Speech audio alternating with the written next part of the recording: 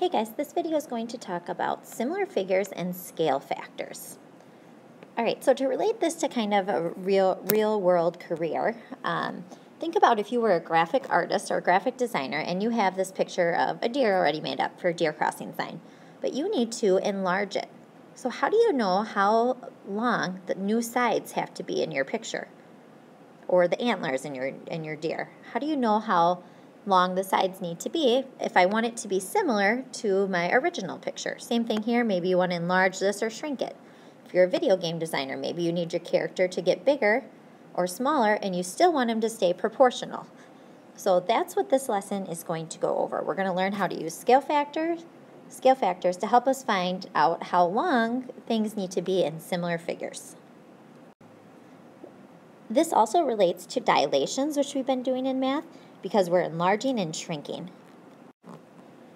All right, so we've talked about similar figures in the past. Similar figures are two figures that have the same shape, but they can be different sizes. So maybe I have this triangle, and then maybe I, maybe I enlarge it, draw the same shaped triangle, it's just a little bit bigger.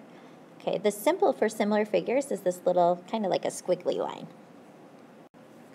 So some important things that you need to know about similar figures are their angles are always equal. So the angles in similar figures are equal.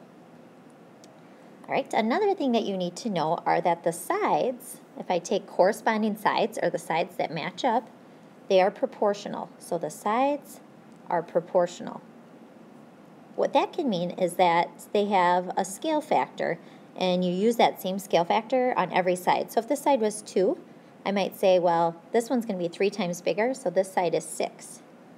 Okay, so if the bottom of this triangle is 4, if I made it 3 times bigger, it might be 12 then.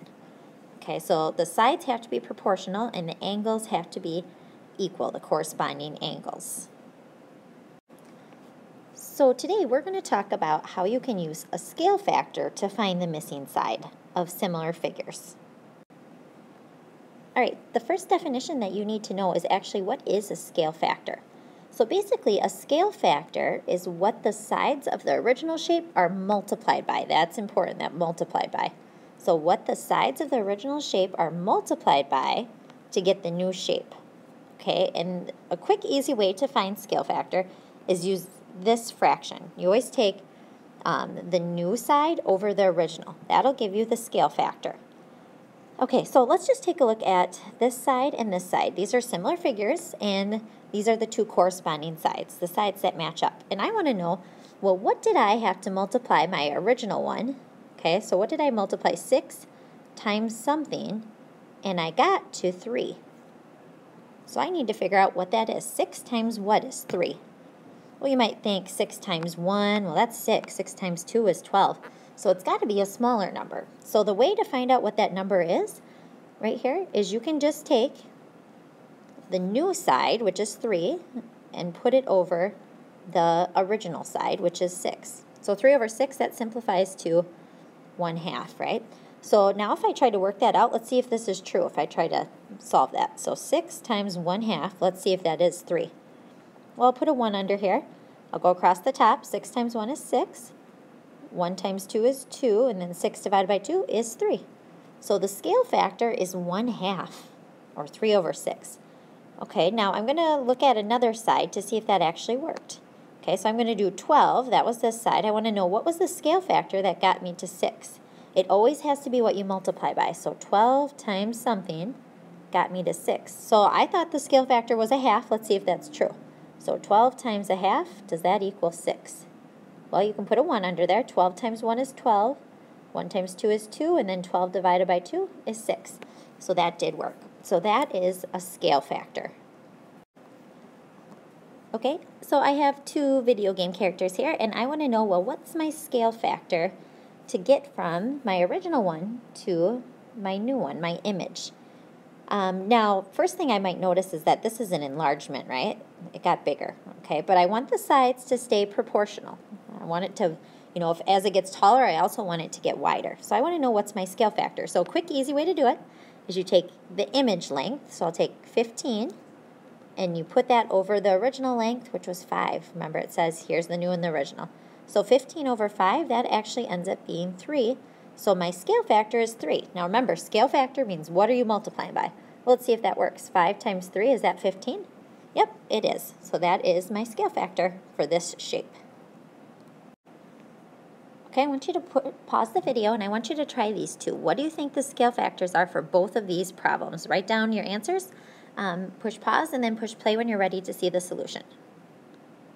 All right, so the first one, remember to find a scale factor, you take the new length, which was 5, over the original length, which was 4. So my scale factor here is 5 fourths.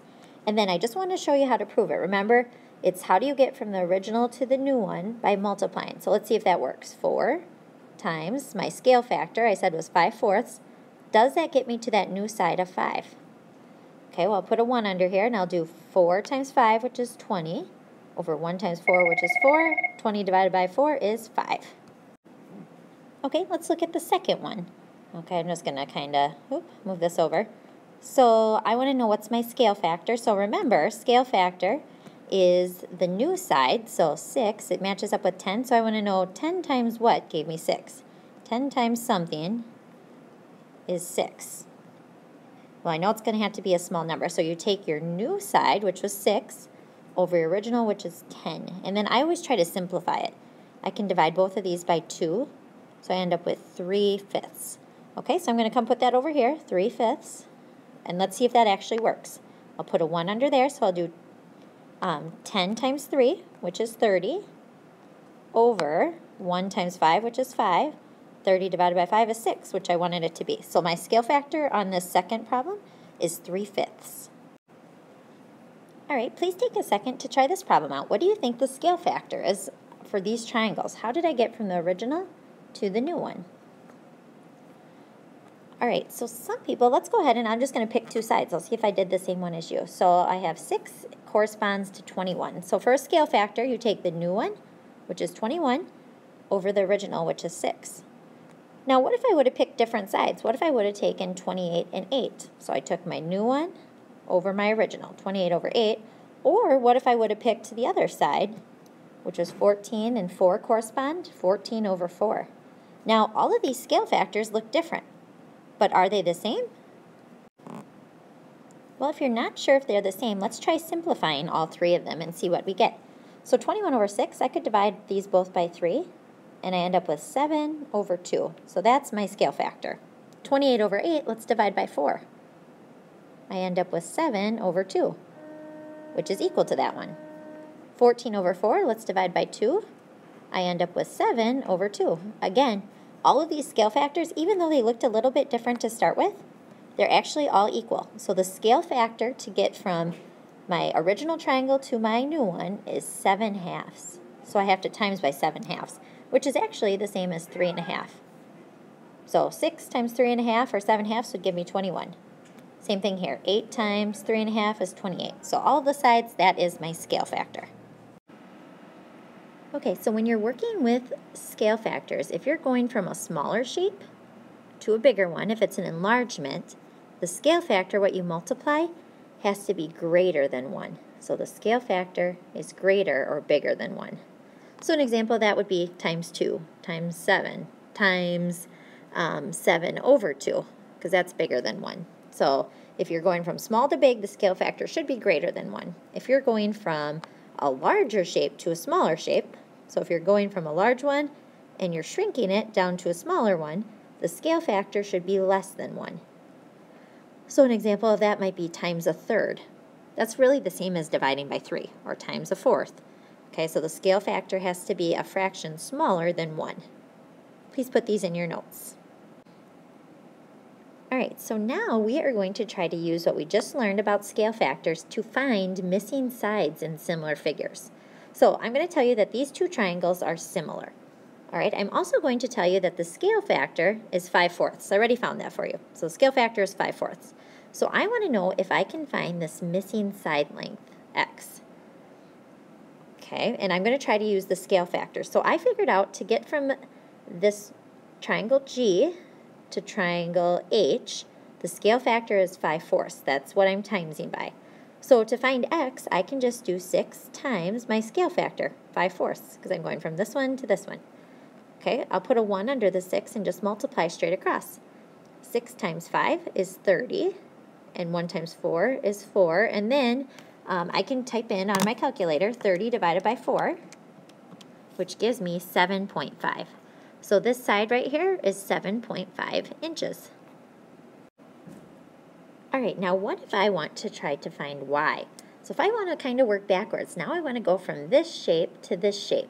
So if I'm trying to find my scale factor this time, so now I think I'm kind of reversing it. My scale factor is here's my new one, 4 over 5, my original. So now I'm going to use 4 over 5, and I want to know 10 times what gives me y. So I'm going to do 10 times my scale factor, 4 over 5. It's going to give me y. I'll put a 1 under there, so I get 40 over 5, which is 8. So this side would be 8. All right, so we are going to try to find y in this example. So first thing that you always want to think about is you're trying to go from, we're trying to find y. So let's point our arrow towards the y. Okay, and I know it matches up with 9. So I'm trying to figure out 9 times something is y. Okay, when you're, first thing that you need to do is find your scale factor. So your scale factor you can go ahead and pick two sides that you do know that match up. So I see 11 and 33. And right now I'm going to say this is my new one, and this is my original, the small one. So I'm going to take my new one, 33, over my original, 11. 33 over 11 is 3. So that is my scale factor. It's times 3. From the small to the big, it's 3 times bigger. Okay, so if I want to try to find y now, okay, I'm starting at the 9. I want to know how do I get to the y? So I'm going to do 9 times, my scale factor is 3. 9 times 3 is 27. So my answer is 27 centimeters. Okay, let's look at this other picture, and let's say I want to find x. So I'm just going to draw my arrow pointing to here to start with. All right, so I'm going from small to big, so I'm going from here to here, so it's going to be times something, remember, it's always times something. All right, so first thing you need to find your scale factor. So again, this is my new one in this example, and this is my original. So I take my take two sides that you know. So I know my new one is 24, and that matches up with 9. So 24 over 9, that is my scale factor. Now, I can divide that out a little. Let's divide that by 3. 24 divided by 3 is 8, 9 divided by 3 is 3. So that's my scale factor. Okay, I'll just abbreviate that. Okay, so now I know it's times 8 thirds. That's my scale factor. So if I want to try to find x, okay, I want to go from 6 times my scale factor. That'll give me x. So 6 times 8 thirds should give me that missing side. I'll put a 1 under here. Um, 6 times 8 is 48, and 1 times 3 is 3. And now if I want to get specific, I'll do 48 divided by 3. And the answer is 16. So x ends up being 16 inches. All right, so in this video, you just used, or you just found out a way that you can use scale factors to find missing sides in similar figures.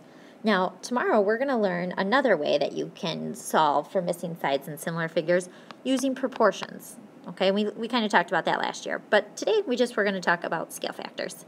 If you have questions, please ask your teacher and um, he or she can go over some examples with you.